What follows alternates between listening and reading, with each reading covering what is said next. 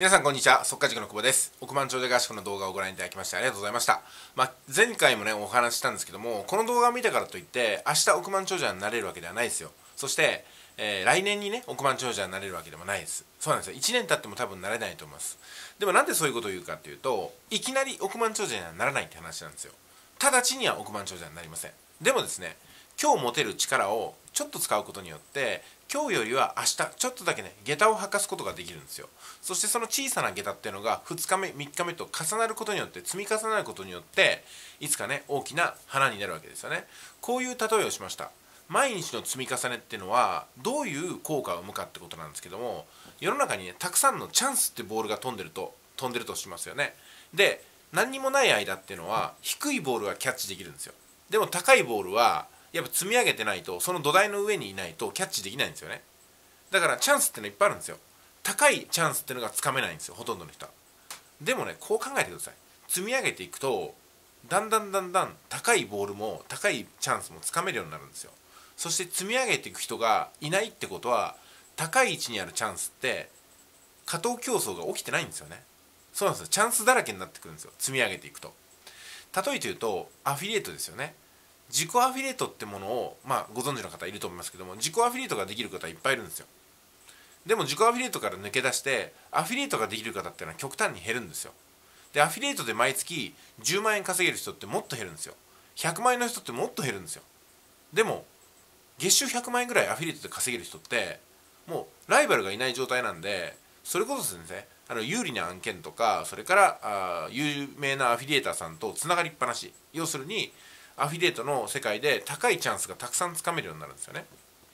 で積み上げてない人どういうことかっていうとそれはね数競争が起きやすいんですよ。ほとんど何もせずにそのまんまのつけてない力積み上げてない力を持ってる人ってのはいっぱいいるんですよね。だから似たような人がたくさんいるんでそれは過当競争になってものすごく利ザヤっていうのは低いんですよ。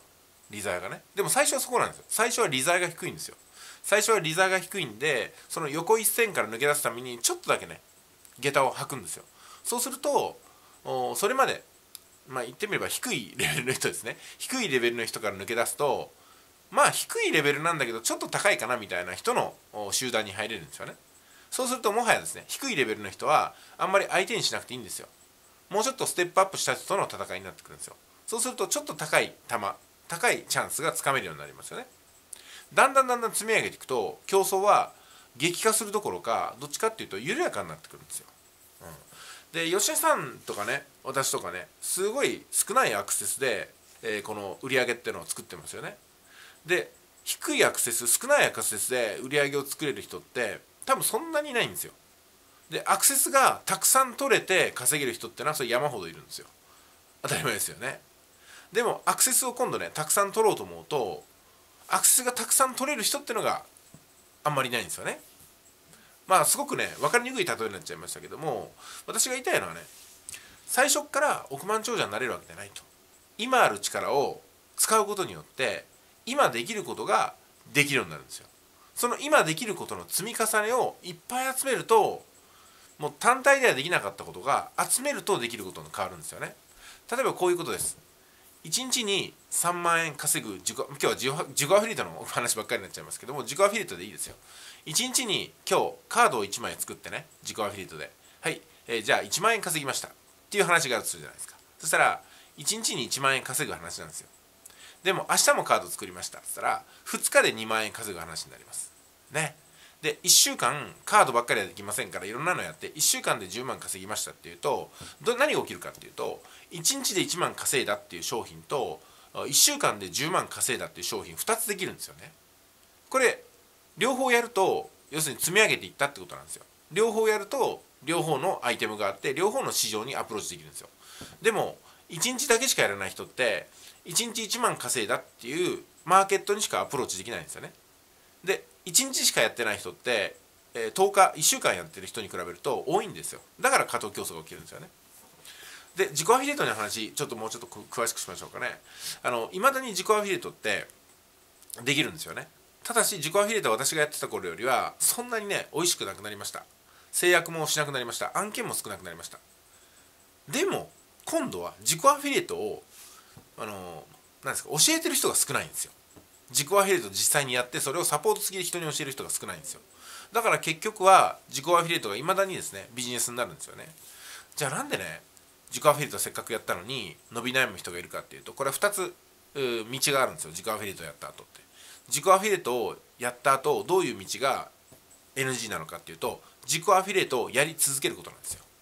これはねアウトですね。みんなこっちになっちゃうんですよ。己アフィリエイトの案件なんかないですかっていうふうな連絡しか来ないんですよ。1週間経っても10日経っても2週間経っても1ヶ月経っても最近自己アフィリエイトの案件ないですねって。バリューコマースとかどうですかとかね、えー、それからアフロとかどうですかみたいになっちゃうんですよ。要するに自己アフィリエイトジプシーになるんですよね。私がずっと言ってるのは違うんですよ。自己アフィリエイトをやりました。実績を作りました。その実績を今度は人に教える指導者となって自分では自己アフィリエイトの回数は減ったけどもでも人に教える回数が増えましたよってことをやるんですよ。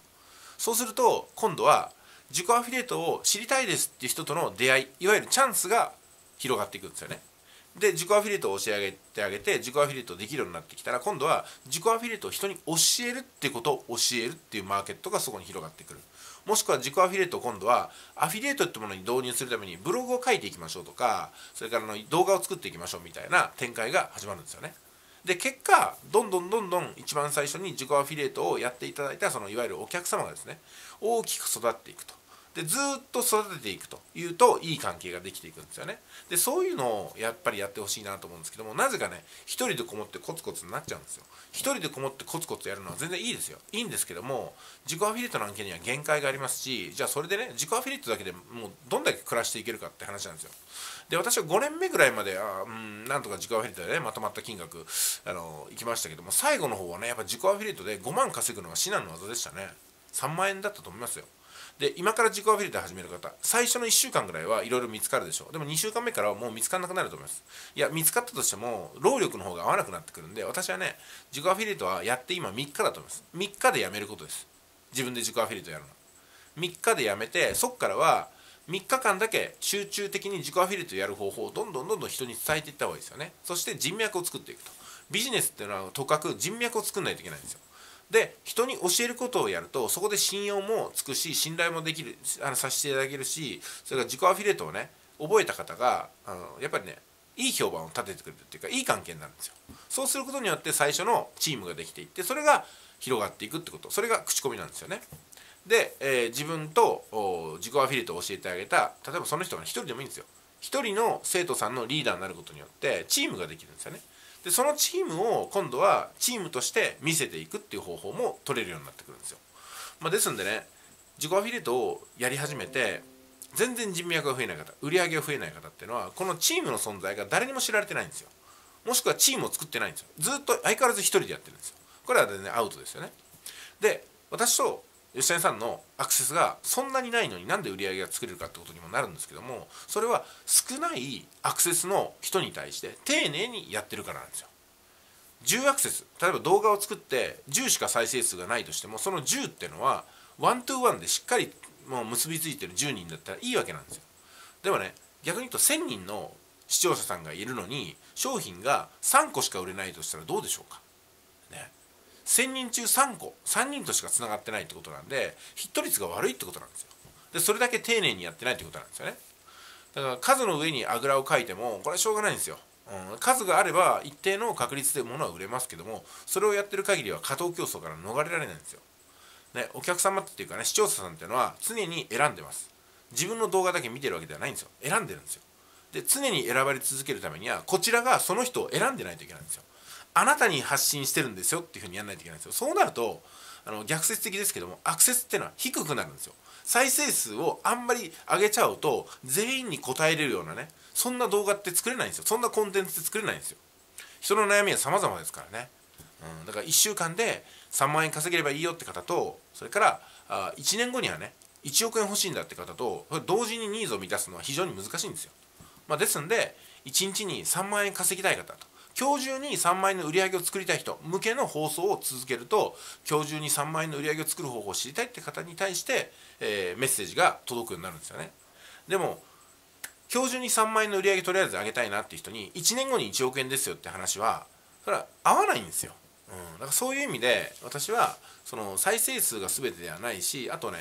今自分ができることをしっかりやって今自分ができることを受け取ってくださる方と最初につながっていくとその最初の一人を探すために発信をしてほしいなと思いますね、まあ、今回はそんなとこですかね、あのー、だから手打ちのカードで勝負するってことを言いますけどまさにそうなんですよ、うん、で、あのー、何かね実現しようと思ったら長い時間がかかるんですよ。長い時間がかかるけどもでも初日にできることもあるんですよね。で初日にできることをしっかりやること。その連続が長い時間をかけて何かを達成する力になるんではないかなと思いますよね、うん、だから将来的にはこうなりたいんだけども今日明日のことがこなせない。手持ちのカードを使ってない人には永遠にその日って来ないんですよ、まあ、ですんで今ある手持ちのカードを使っていきましょう。それはですねあの明るく返事をするとかね、えー、大きく笑うとか誰かを励ますとか、うん、そういうことでもあると思いますしできることって必ずあると思うんですよ。そして今回ね吉根さんがいいこと言ってくださいました。できないことも武器になるんですよ。私はできないんで助けてくださいっていうねそういう発信でもいいんですよ。えこれがねオチです今日の。できないんでお願いします。これでもいいんですよ。そうすると教えてあげましょうかって方が来ます。ね。あの頼んでもないのにいきなりメッセージが来て「私は投資のプロです」とか言ってね教材を買いましょうみたいなの来たら嫌でしょ。でもこちらの方が「いや私は FX で行き詰まってるんで FX の教材を持ってる人は教えてください」って言ったら今度逆にですね適当なセールス実は来ないんですよ。